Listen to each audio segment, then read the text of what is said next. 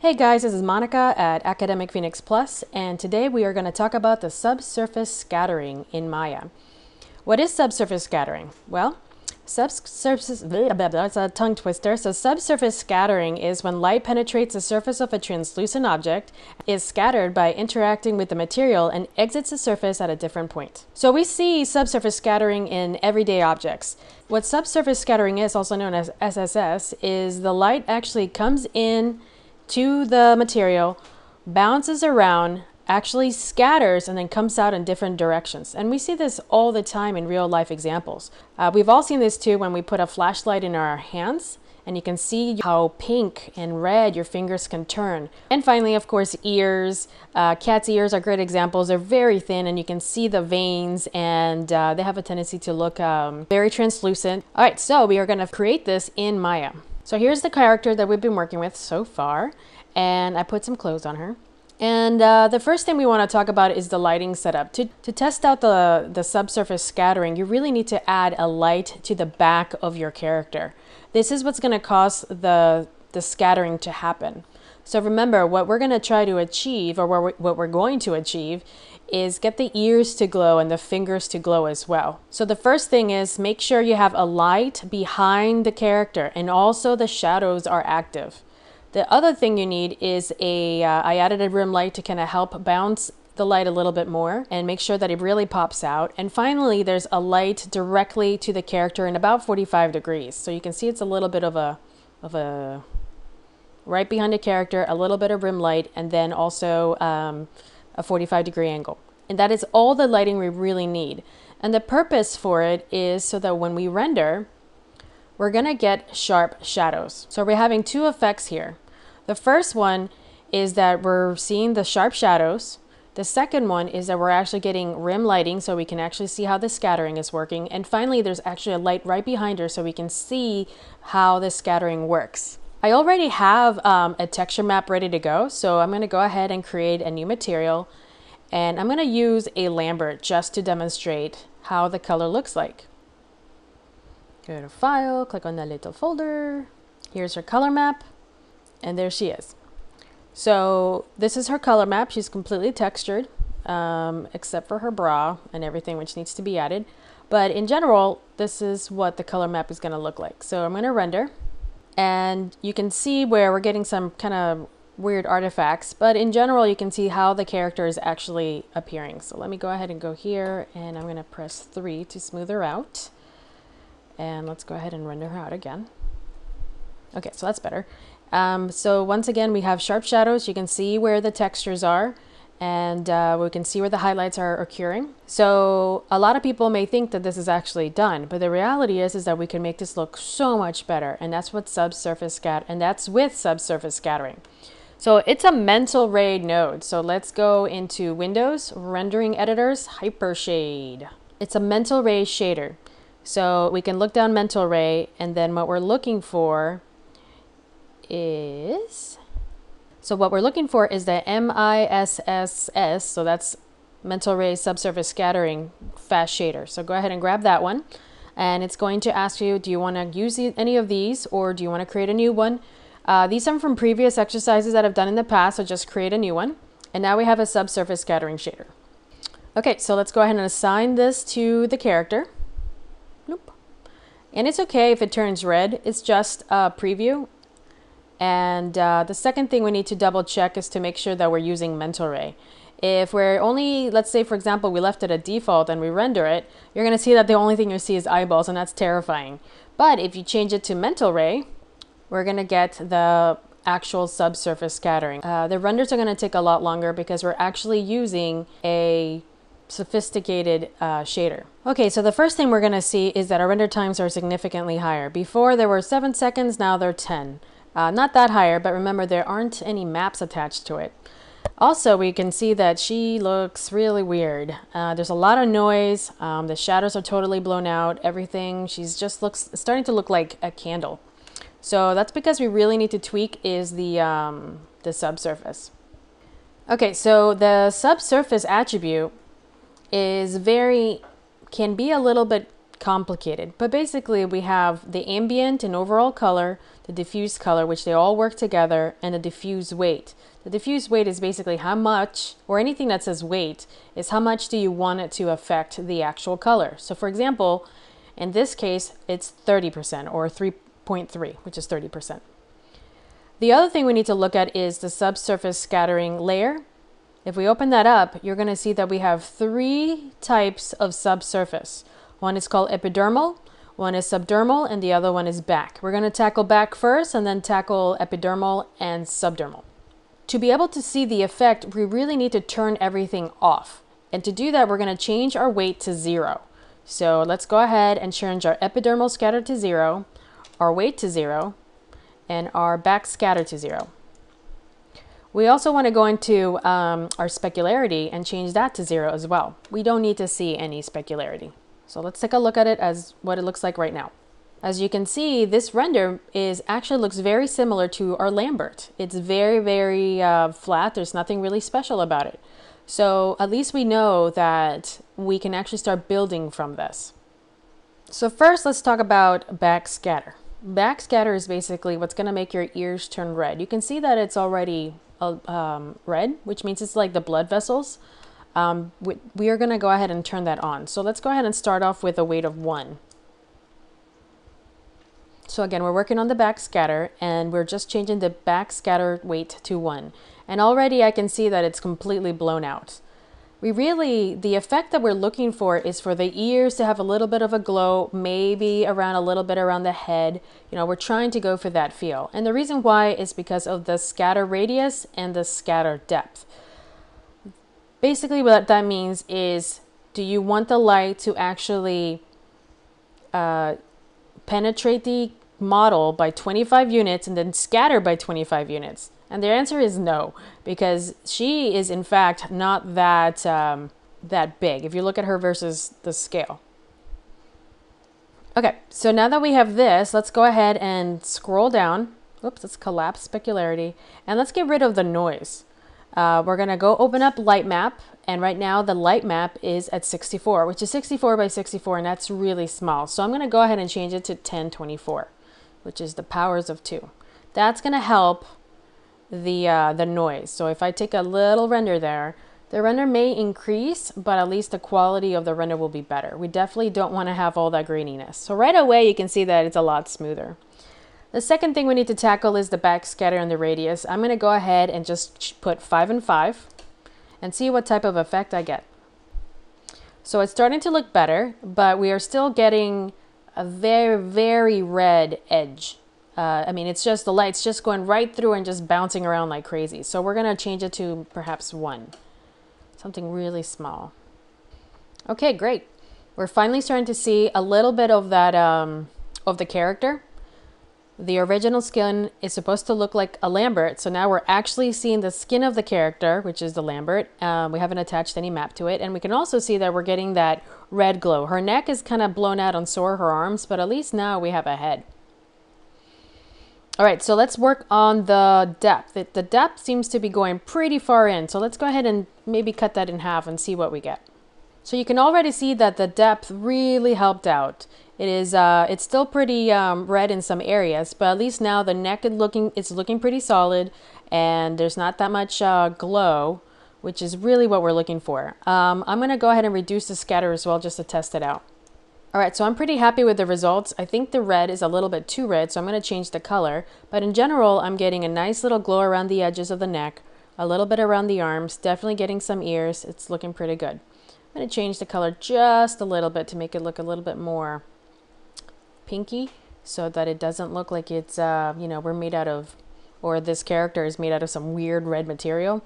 We want to make it look like it's actually more human, which is kind of pink, pinkish orangey color.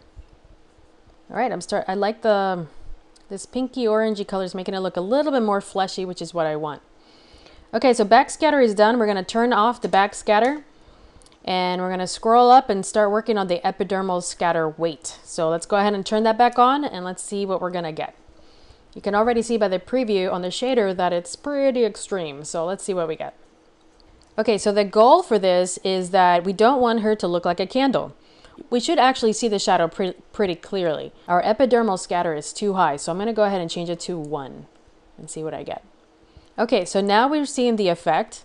And you can see that the shadow is a little bit darker, but it's still not dark enough. We really want it to be basically almost black. So I'm going to go ahead and put an epidermal scatter radius. We're going to do 0.5. It's starting to look better, but it's still not the same as it was at the very beginning, which is almost black. So we're going to keep going. I'm going to push it a little bit further. This time I'm going to just make a selection and reduce the number by, uh, let's do 0.1 and see what happens. All right, so that look that actually looks a lot better. The shadow is nice and dark. I'm gonna render the whole thing. Okay, so she's looking a little softer and the shadows are still a little bit soft, but at least now they're actually turning dark. I can try a little bit further. Let's push it just a little bit more and see what we get. We can actually make a comparison. Okay, so that's so this is looking significantly better. You can see that the shadows are actually very dark and that's exactly what we're looking for. All right, so we're going to say that epidermal scatter is done. So we're going to zero that out, and then we're going to turn on subdermal scatter.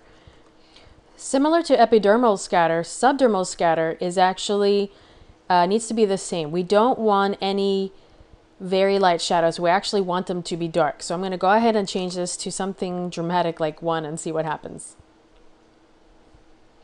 So you can see that it's looking a lot better. Hope I didn't save it. So you can see that it's looking better, but it still needs to be basically black. So I'm going to go ahead and uh, I'm going to do 0.5. We're getting closer, but you can see that the the shadow still isn't dark enough, so it's going to get really low. So let's go ahead and do 0.05. So you can see that by changing it to a very low value, 0.05, I'm getting the dark shadows that I'm looking for, which is fantastic. Okay, so now that we have all three, um, now that we have all the subsurface scattering layers completed, let's go ahead and turn them all on together.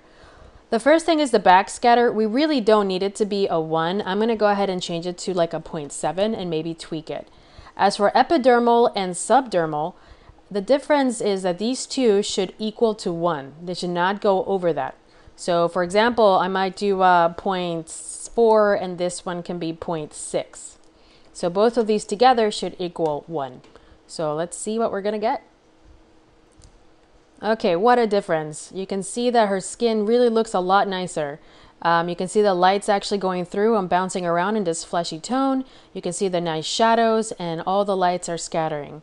So looking pretty good so far. The next part is actually start adding our maps. So there's several ways you want to add your map. You can just start plugging them in individually, but let's but they actually kind of work on together. So let's say, for example, um, epidermal actually signifies the skin layer.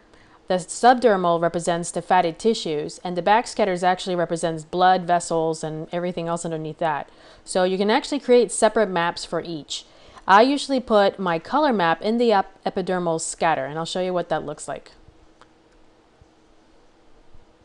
Okay, so I just plugged in my, my, color map on the epidermal and you can see the effect that this is what it was before, kind of yellowish, and now it's starting to look a little bit more uh, toned. You've got a little bit of the effect on the lips. You can see where her eyebrows are.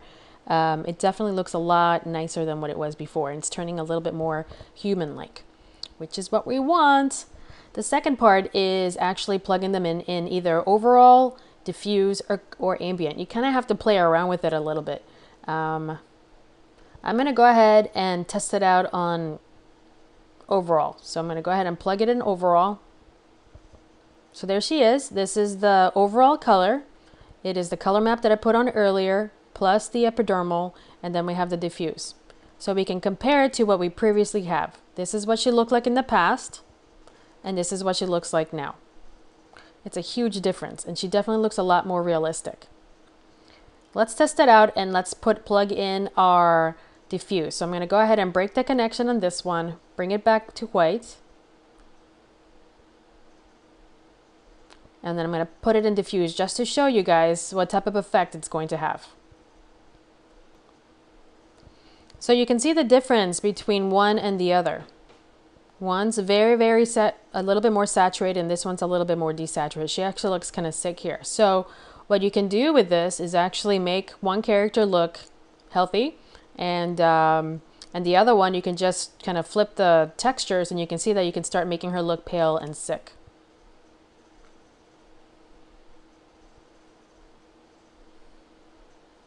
And finally, we're going to plug in ambient color. So that's another effect that you can play around with. So you have three choices. Whoops, I didn't keep the other one, sorry. But you can make this one look very ghostly. You can keep one that's pretty tanned, or you can keep the other one as well. So there's a lot of things you can actually do or, or make the character look differently when it comes to um, your textures. But I'm actually going to go ahead and put overall color and just kind of keep that one. Okay, so now that we've actually managed to understand um, subsurface a little bit better, we can increase, maybe I might increase my diffuse weight just a little bit more so I can really see the textures that I've uh, laid out for her. So we'll render that one and see how it looks. Okay, I definitely like that a lot uh, better. Okay, so now that we figured that part out, let's go ahead and go to specularity. Specularity can be a little bit of a now this one's a little bit of a challenge. I'm just to turn on the weight uh, just a little bit. So specularity is to give you that feeling that it's made out of, um, that she's made out of, uh, she's glossy in some sort of way. But that's actually very human. We have oil and we actually do have gloss. Um, it's going to help if I add a bump map. So I'm going to go ahead and add a bump shader or a bump map in this case. I already have one set up, so I'm going to go ahead and plug it in. Well, that's terrifying. As you can see, it's a little strong. So I'm going to go back to my bump node and change my bump depth to something smaller like 0.3. And then I'm going to try again. So it's, so it's looking better, but I'm still feeling it's a little strong. So I'm just going to reduce it just a little bit more and then start working a little bit on the, on the specularity. So the specularity basically has two types of specularity, the primary and the secondary. So if we turn off the primary, and take a look at the secondary, you're going to see what, what it does. So you can see that the second specularity actually is more like a um, the effect of around the in front of the face, and the other specu specularity is actually around the edges. So we just want a little bit of each. So I'm going to go ahead and change that to 0.3, 0.3, and uh, I'm going to plug in a map because I really want the lips to be very specular, but the skin doesn't have to be as specular. So in your specularity map, make sure that the lips are actually pretty white and the rest of the body can be a little bit darker. Okay guys, so that's basically how subsurface scattering works. Again, you want to start with turning everything off and then start with the backscatter, then start going through the epidermal, subdermal, turn all of them on, and then stop start plugging in your uh, color maps. So again, the difference is pretty dramatic. This is how it started. This is a Lambert. This is just um, a Lambert with a color texture on it. And then with all of the other stuff, this is what she looks like. So it really does make a difference on your character. It adds that beautiful je ne sais quoi that makes the character look a lot more organic and alive. The second part of the next, the next tutorial is actually going to be how to create eyes. Eyes are really important as well. Um, it is the um, it's the window to the soul, you could say. So we're gonna tackle that next. All right, hope this was helpful. I hope you guys enjoyed this tutorial. Don't forget to subscribe to my channel. Okay guys, I'll see you next time.